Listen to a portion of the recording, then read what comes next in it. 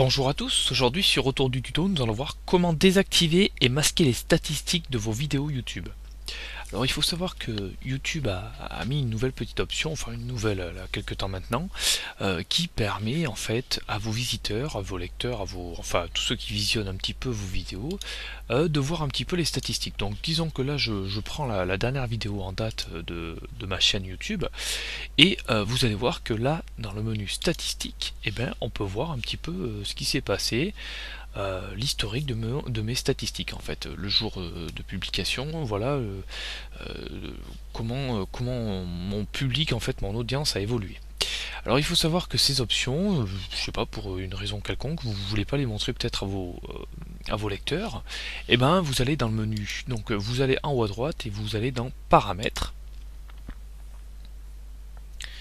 Voilà. Dans le volet de gauche, vous allez dans confidentialité. Et ici dans statistiques et données, vous avez une, petite option en fait qui s'appelle euh, par défaut permettre à tout le monde de consulter les statistiques et les données de mes vidéos. Donc ici vous décochez cette option et vous cliquez sur enregistrer. Voilà, personnellement moi ça ne me dérange pas donc je vais la laisser. Maintenant vous pouvez euh, aussi euh, au lieu de désactiver toutes vos statistiques sur vos vidéos, vous pouvez aussi le faire à une seule vidéo. Je vais reprendre, je vais reprendre une autre vidéo par exemple donc là je vais la mettre en pause.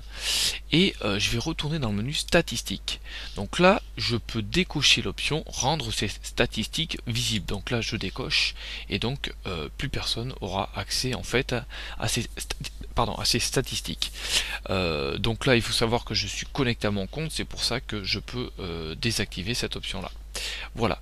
Donc euh, bah, n'hésitez pas à donner un petit peu votre avis hein, sous la vidéo ou dans le blog autour du tuto. Et puis moi je vous retrouve bientôt pour un nouveau tutoriel vidéo. A bientôt